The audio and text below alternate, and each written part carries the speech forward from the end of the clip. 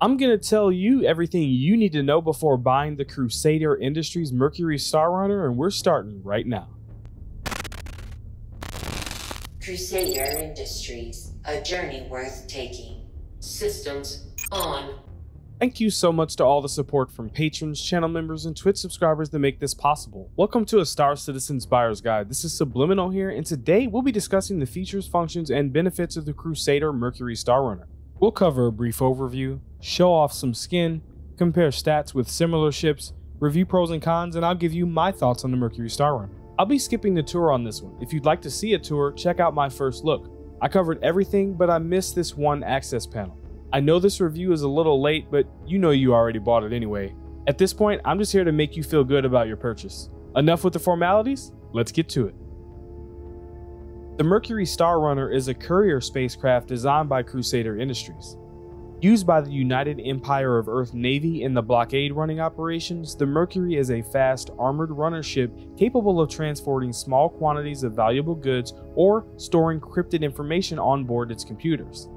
The belligerent Duck, a Mercury Star Runner operated by criminals, famously escaped the Terra system to Banu space despite a significant amount of pursuers in 2948.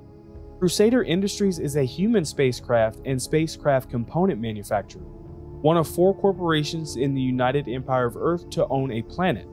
Crusader Industries designs and constructs its spacecrafts in the upper atmosphere of Crusader, all while the corporation and its employee inhabitants reside on a latticework of floating colony platforms.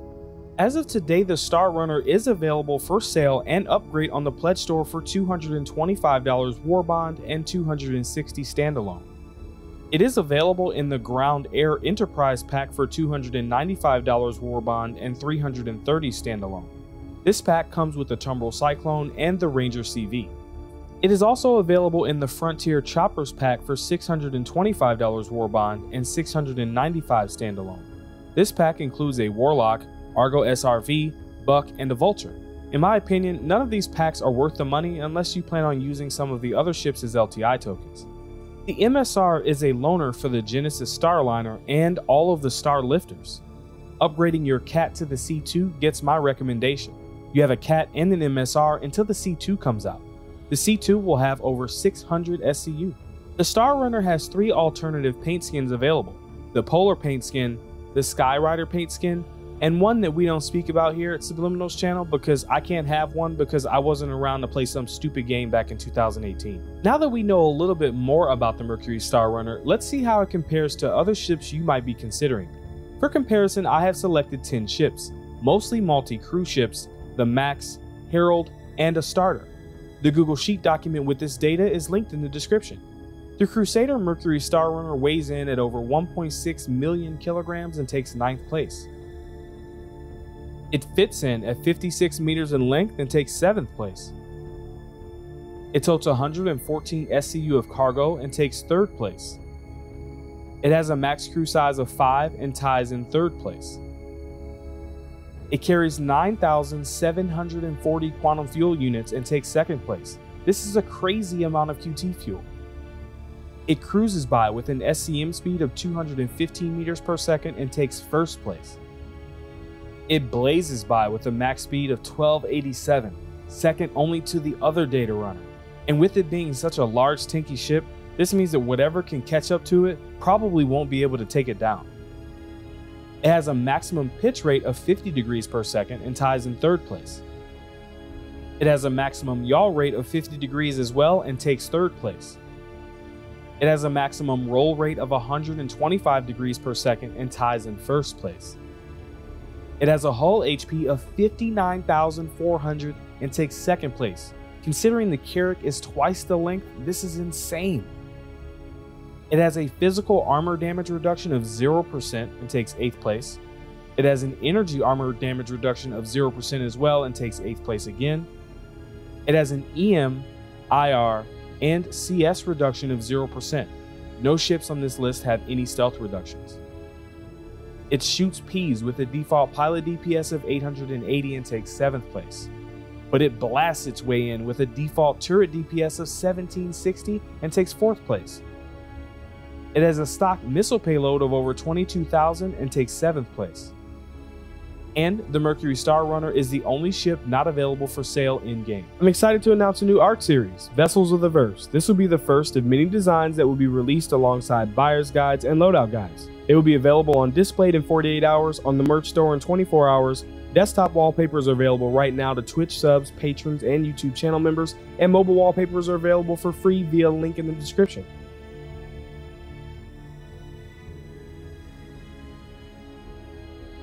Alright, before we weigh some of the pros and cons, just know that my template here has only 10 slots and it's a bitch to change, so I'll speak all of my pros but only show the top 10. First, it's fast as fuck in both SCM and especially its max speed. Its multi-crew gameplay is great, now with two turrets, and it will be even better when someone can work that scanner. The damage potential with all of the guns manned is excellent, the cargo space is excellent as well with 114 SCU. Of course, there are ships with larger capacity, but imagine being able to pick up and sell data simultaneously with cargo in the future. Having almost 10k quantum fuel units is outmatched pound for pound. The fastest, most inefficient drive can make a trip from PO to Microtech seven times. I wish I could replace some of that with hydrogen fuel. The hidden underbelly is great. I can't wait for when it's possible to be disabled and boarded by enemies. They'll be playing whack-a-mole for hours trying to find me. The hidden cargo is great to have if you sell Vice. Its acceleration is great. Using Legacy Fleet Spat Tool, let's compare it to some of its competitors. Here it is versus the Connie. This is how it stacks up to the Cutty. And finally, just for shits and giggles, let's see how it does against the Sabre. I'll just leave that up there for a few seconds while I continue with the other half of these pros. Its atmospheric flight is great for its size. Its agility is great as well for its size. Its hull HP is out of this world. Its storage space is superb. Make sure you watch my Make It Fit video. Having redundant components for now means that you can run a full stealth build at no cost to performance. The cabin space is very spacious, plenty of room for crew and amenities to keep them comfortable.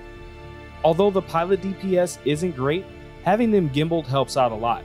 I love adding cannons that I wouldn't normally dream of putting on such a ship this size. And finally, most importantly, it's beautiful. For cons, I would say its pilot DPS could be better, but it's understandable that not every ship can be a solo combat ship. It only has one entry exit point, I love to see another entrance near that long hallway towards the bridge. Um, this is where I'm going to have to start nitpicking so people don't call me an MSR shill. It doesn't have an ejection system. I feel like such a high-tech ship should come with remote turrets. Also, after some testing, it looks like placing handheld illegal cargo or players with crime stat in the hidden cargo area does not prevent you from being scanned or attacked by the UEE, but maybe this might be something that they'll have working in the future. And there's something else, but I can't remember it right now. I'll have to get back to you if I do.